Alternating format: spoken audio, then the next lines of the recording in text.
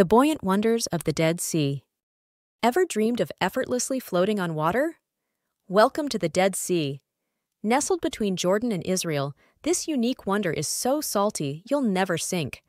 Discover why its waters defy gravity and draw millions of curious visitors each year. Let's dive into this marvel. So, what makes the Dead Sea this buoyant? With 33% salinity, it's nearly 10 times saltier than typical oceans. Dense salt water creates incredible buoyancy, allowing you to float with ease. It's a natural spa like phenomenon, perfect for relaxation and fun. Beyond its buoyant charm, the Dead Sea holds a treasure trove of history. Ancient civilizations bathed in its mineral rich waters, believing in their healing powers. From Cleopatra's beauty rituals to modern spa treatments, these magical waters continue to enchant the world.